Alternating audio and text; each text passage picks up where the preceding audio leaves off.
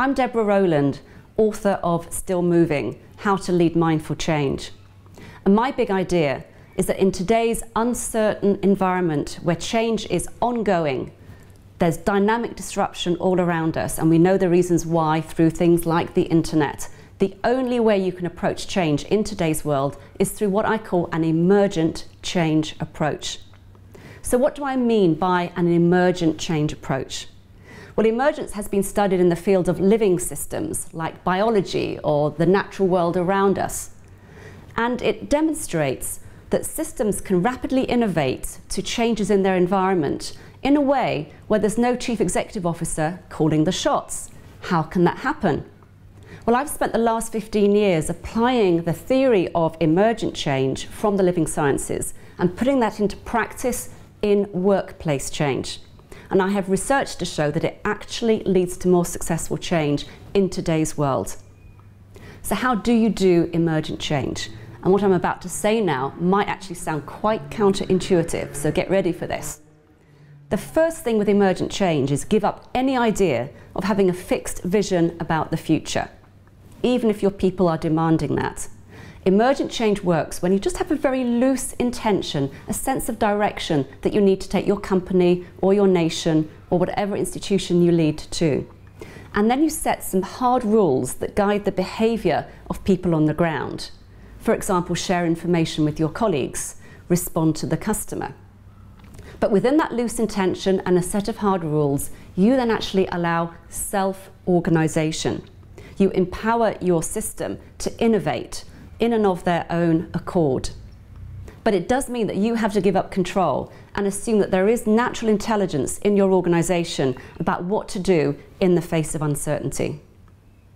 The next feature of emergent change is to work in a step by step way. Give up any idea of having a fixed long term plan. The world now is so dynamic that the answer now might be outmoded in one year's time. So all you do is set the intention for what needs to happen in the next three to six months. Let's find out about that. And then when we get there, we'll look at the world. It's probably changed already. We'll then determine what we need to do next. So work step by step. And the final feature of emergent change is build connectivity and networks, both across your organization, but also between your organization and the outside world. Most innovation happens at the periphery of a system, not in the center of the system, where it can be very, very comfortable. So build networks, put together teams from across different departments. Have your leaders go out to visit new customer groups. So you stimulate what's called the lateral network. You don't need emergent change down through a cascade, down through the vertical hierarchy. You're activating cells of change across your organization. Now, in my experience, leading change in an emergent way goes against the grain. It goes against the grain of predicting what's going to happen, controlling your organization. But you can command emergent change. You can foster the conditions that allows emergent change to naturally emerge in your company. And as I've said before, my research shows that in situations of high complexity, where the answer is not obvious, where you have to move very, very quickly, and my research has convincingly demonstrated that emergent change works best in today's environment.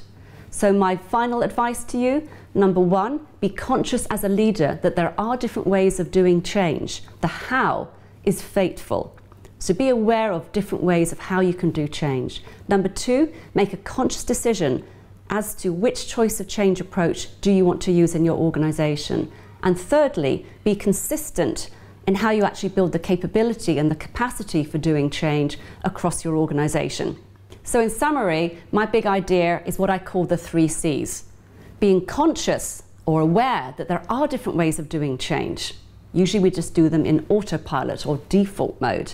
Number two, make a choice, a conscious choice as to how you want the change to be led in your organization or in your nation or in your political party. And number three, to be very consistent in how you lead a change across the system and build skills in your organization to do change in a different way. By shifting the how, you will actually get to a different outcome.